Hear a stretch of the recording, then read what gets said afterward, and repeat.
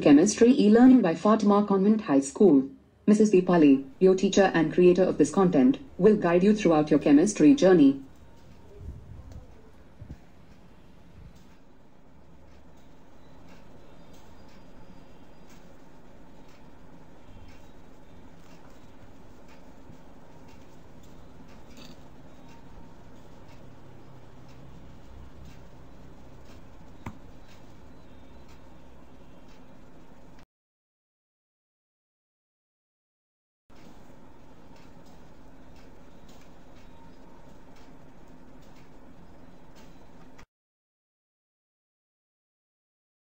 Hello everyone, myself Dipali. Today we are going to start the first session for class 9th, chapter 1 Matter in Our Surrounding. So let us walk through the journey together and have the knowledge of this chapter.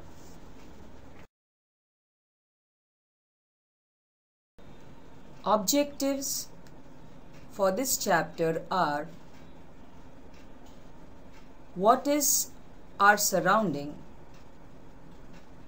The surrounding around us is made up of matter and we are going to understand what matter is. We are going to see the classification of matter according to different philosophies matter as particle form. Characteristics of these particles which makes up the matter.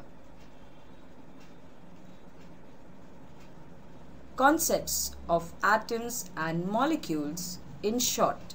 As this topic of atoms and molecules we are going to study in detail in further two chapters chapter 3 and chapter 4. Five states of matter. Properties of the above five states of matter. Effects of temperature and pressure in interconversion of states of matter. Interconversion is changing of one state of matter into another state of matter various units of temperature and its conversion based on numericals. Evaporation and factors affecting evaporation. The learning format for the chapter will be various terminologies related to chapters, concept of the topic in detail, activities to understand this topic in practical manner and its practical application. Numericals to understand the conversion of various units of temperature and we will be testing your skills by the question exercise. So let us move forward.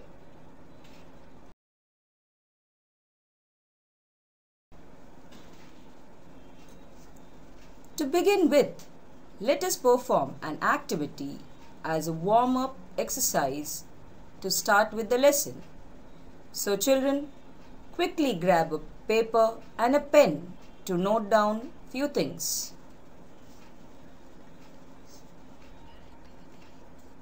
List 10 things around you in 30 seconds. This is your activity and your time starts now.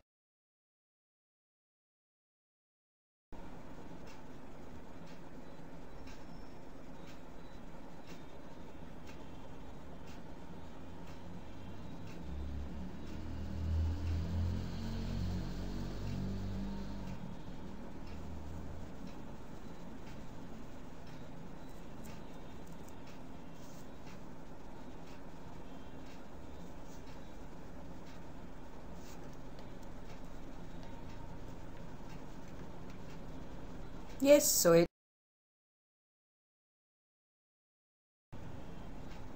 Now let us guess what you all must have written. It could be a book, pen, mobile phone, sofa set, and much more. So, did you all see so many things are around you? When you are inside the house, outside the house, wherever you go. And all these things that are present in our surrounding makes up our surrounding. And this surrounding things or material is made up of matter. This is our chapter all about. So let's begin.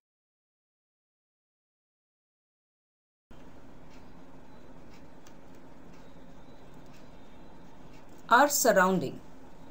So now, can you all tell me what is our surrounding? Yes. So our surrounding is anything which is around us. The environment around us is our surrounding. And what is this surrounding made up of?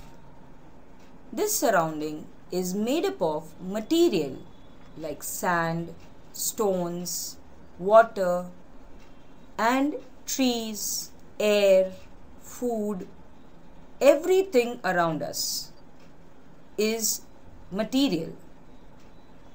The scientists who were very curious to know what this surrounding is made up of termed these materials and substances as matter.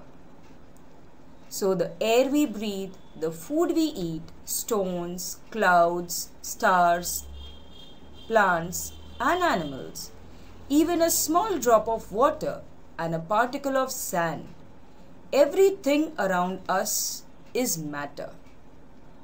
The whole universe is made up of matter. And scientifically defining this word matter says any material that occupies space and has mass and volume is called matter.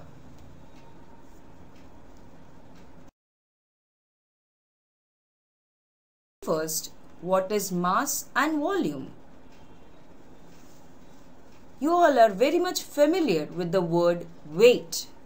Whenever someone asks you, What is your weight? you always give out some number. But that is actually not your weight, that is your mass. If I would say that a student of mine weighs 35 kgs, it means the mass or the matter present in his body is 35 kilograms. If I take a log of wood and I weigh it on the weight balance and it is say 2 kgs then that log of wood contains about 2 kgs of matter in it.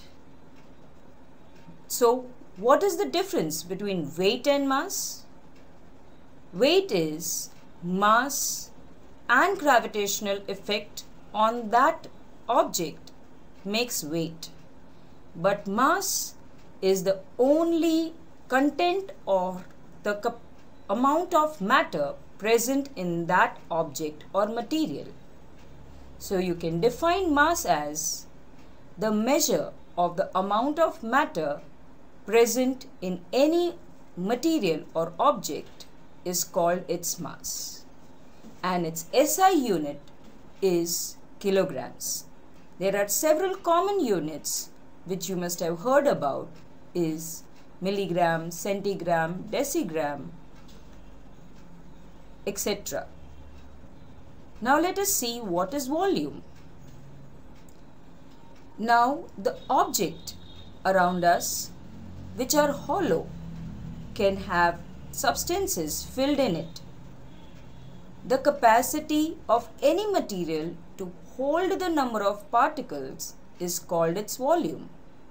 So suppose if I take an example of a glass and I fill it with water and the glass can hold 250 ml of water, then the capacity of the glass is of 250 ml and the volume of water in the glass is 250 ml. So, the quantity of any particle which an object can hold is called its volume. The SI unit of volume is cubic meter or meter cube and the other units related to volume are liters, milliliters, centimeter cube, decimeter cube, etc. Now, is nothing but the quantity or the material which occupies space and has volume is called matter. Now let us understand the classification of this matter according to different philosophies. We know the human nature is always curious. We want to keep exploring the whys that comes in our mind when we see something. Why like this way? What must it be made up of or how it must be? So scientists in ancient time also were curious to know what this matter is made up of or what this matter is. And on the basis of their exploration and observation, they found out that matter is made up of certain particles and they classified this matter into five elements the scientists all over the world, the Indian scientist, the Greek scientist, everyone around the world gave an old idea or the ancient philosophy of matter being made up of Panch Tattva. This Panch Tattva is a Sanskrit word. Panch means five and Tattva means elements. So, they classified matter into air, earth, fire, sky and water. You know the Sanskrit or Gujarati word for air. Air is Vayu, earth Prithvi, fire Agni, sky Akash, water Jal. Similarly, Greek scientists like Empedocles and Aristotle gave a similar kind of philosophy saying that matter is air, earth, fire, sky and water. We also are very much familiar with a concept or you must have heard around that our body is made up of these Panch Mahabhut. So they classified matter into five tattvas. But the modern scientists had, had more technology to explore this matter and they classified matter on the basis of their physical properties and chemical properties into various forms. According to physical properties, they classified matter into condensate, solid state, liquid state, gaseous state and plasma state. Now first let us understand the word physical property and chemical property. Physical property is nothing but some physical appearance or physical characteristics of the material. The physical characteristics are its shape, size, color, form, etc. So matter was classified on the basis of these properties into five states. Yes, I know. You all are thinking, up till now you have studied only three states of matter. Then from where did these two states of matter come? But we are going to study all these five states of matter and their characteristics and conversion in detail in this chapter. Now what are chemical properties? Chemical properties are the characteristics of what the atoms or molecules the substance is made up of. The chemical properties are the characteristics of what this matter actually is. According to that, the matter was classified into elements, compounds and mixture. Elements is substances which are made up of one type of atoms. Compounds are substances made up of two or more different atoms bonded together and have lost their own individual identities to form a new substance. Mixture Two or more different atoms together are joined without any bonds or are put together and hold their own identities are called mixtures. We are going to study about these three elements, compounds and mixture in detail in chapter 2. So, we are going to now study the physical properties and the different states of matter further in this chapter.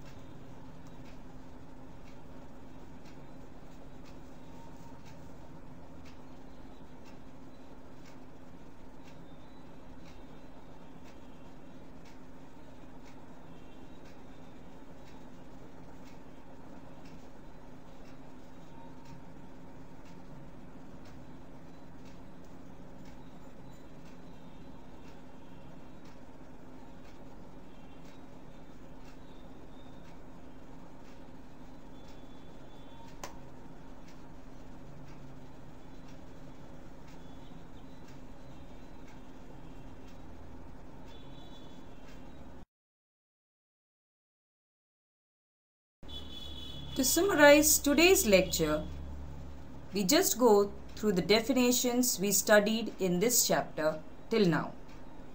Surrounding. The environment around us is our surrounding. Matter. Any material that occupies space and has mass and volume is called matter. Mass. The measure of amount of matter or particle present in any material or object is called its mass. Don't forget, mass and weight are two different things. So now, whenever someone asks, what is your weight?